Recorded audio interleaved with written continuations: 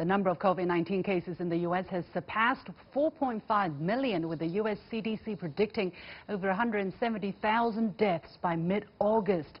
The news comes as Dr. Anthony Fauci, the nation's leading infectious diseases expert, attended a lengthy congressional hearing on the coronavirus response where he offered common sense answers.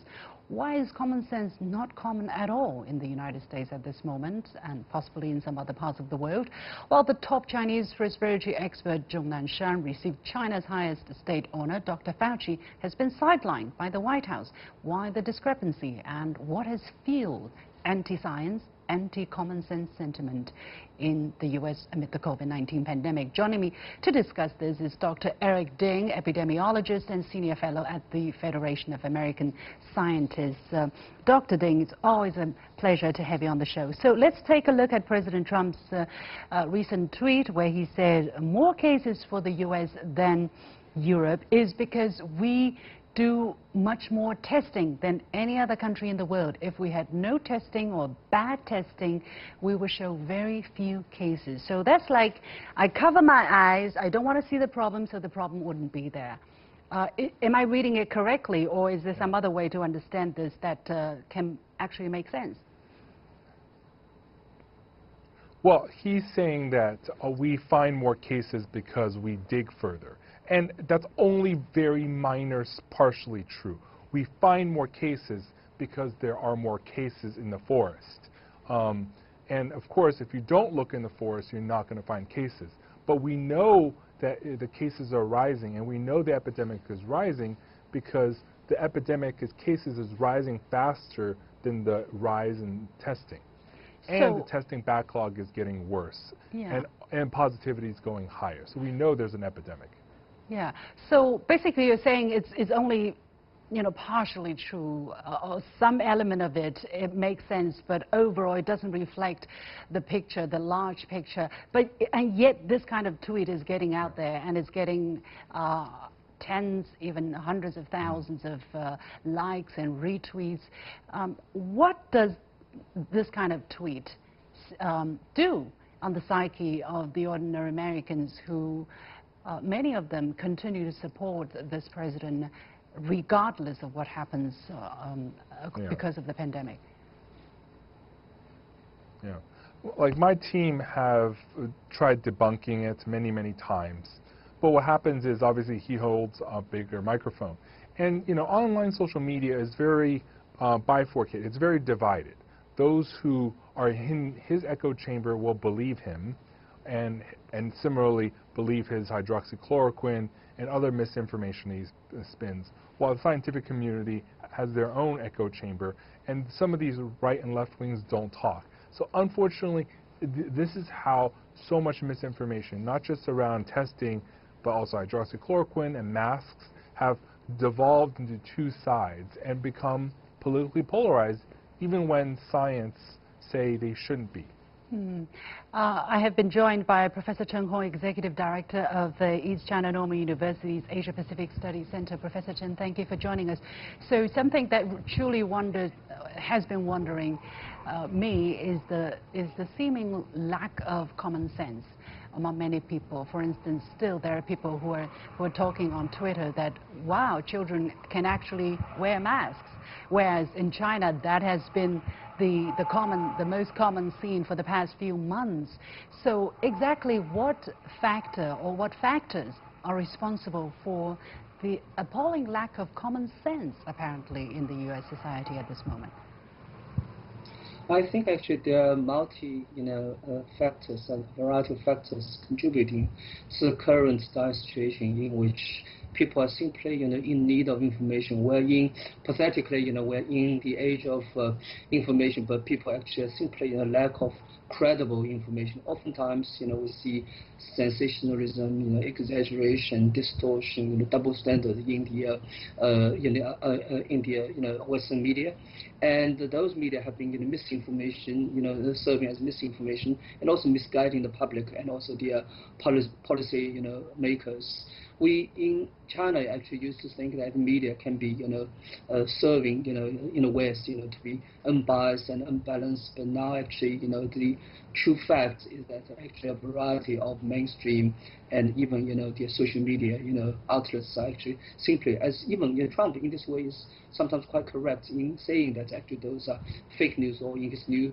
invention you know lame lame lame news you know Yeah. some you know the uh, of those uh, you know uh, news travel quite fast in a viral way and they contain rumors such as 5G technology has caused the, the coronavirus and facial masks contain an antenna to track people's movements. Such ridiculous stories could The- travel and spread among large Yeah. number of people. What wonders me, however, is the ability, the kind of checks and balances that the, the powerful, the open and free media that's supposed to have on misinformation, disinformation, or the abuse of um, executive power, for instance, uh, Dr. Yes. Ding. And yet it seems that uh, in the United States, at least this time alone, or when it comes to um, President, checking President Trump's um, power, it has not been very effective, and uh, um, that seems to have been a factor, a contributing factor to the skyrocketing number of casualties. Yeah. Well, no one can really take away Donald Trump's Twitter. That's just uh, it, people have tried. They have all failed. People have given up. Um, it is his style. It is his. It is his medium. Uh, but what we can what we can still do is work with the governors. You know, even if there's uh, really poor leadership at the federal level, in the U.S., the way it's set up, governors can put in mask mandates. They can put in the lockdown rules. They can put in the school closures. So Trump can be as incompetent as he can, and obviously, there's if he was more coherent, he could actually uh, be more effective uh, nationally. But governors on the lower level can still help. But the problem is many of the conservative governors with Republican uh, who are loyal to Trump do not want to do shutdowns, do not want to put mask statewide mask mandates, and with without that, the epidemic will just keep going because you know major, uh, only Of course. uh, like 60 to 70 percent of the U.S. wears masks. Yeah. Uh, can we say can we say there is a, a, a lack of leadership or even a wrong leadership when it comes to managing the pandemic?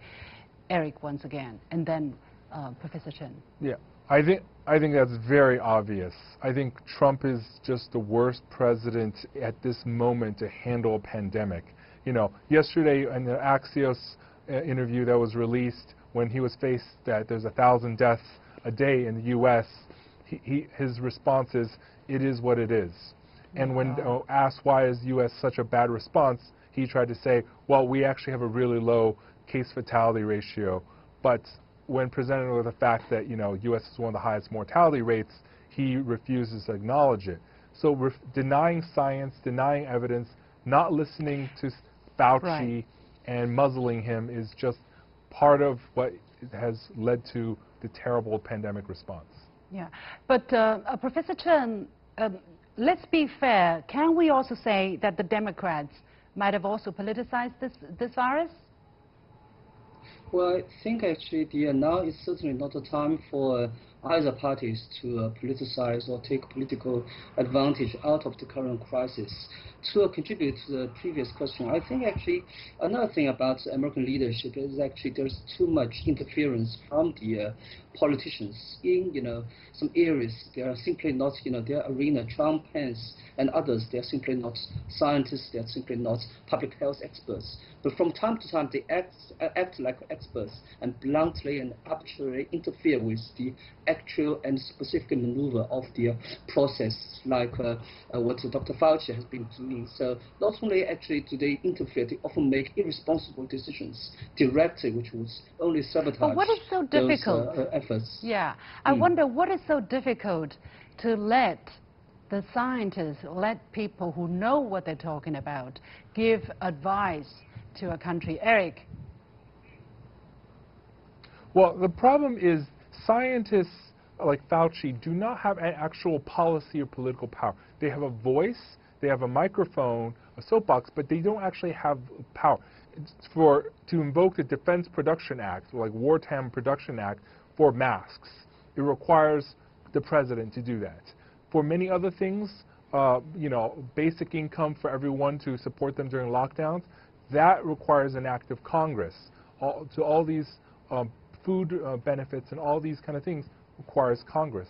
And for the governors for lockdowns, it requires governors, which again are political because those who are loyal to Trump uh, have kind of pledged fealty to him not to do full lockdowns and not to do full mask mandate. If anything, Georgia governor actually has a rule that blocks masks mandates in cities and counties in Georgia, even if the cities and counties wanted them. So that is, again, political interference. Scientists do not have power. Scientists, the CDC has been kneecapped This and is silenced yeah, so this many is times. unbelievable. This is Um, where Yeah, because because you know you do have the best scientists right in the world. You do have people who are like you, who who are fighting all the all the time, who are top-notch experts, and yet uh, the common the lack of common sense is just rampant.